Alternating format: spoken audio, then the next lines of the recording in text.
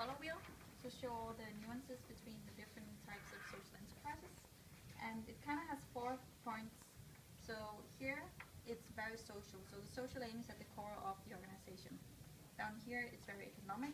So perhaps whatever social they do is just like an add-on, like some CSR policies. Then over here, whatever they're doing is very product or market oriented, whereas over here, it's very human oriented. So those are like the four main categories that we have, we try to come up with examples. And some of them you know, like Plastic Blue, and some of the big companies like Dunk or Cool and Mask.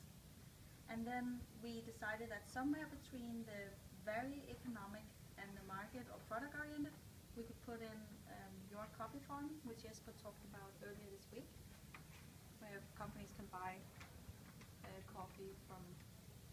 From, yeah, they buy coffee from a specific coffee farm and then profits go to that specific coffee farm and then they kind of develop the local community with the money they gain.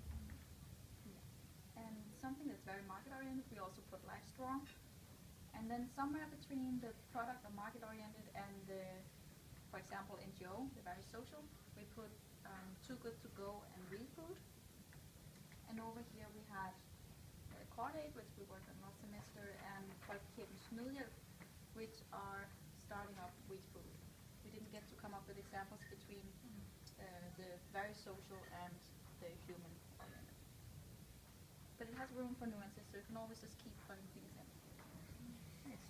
Thank you.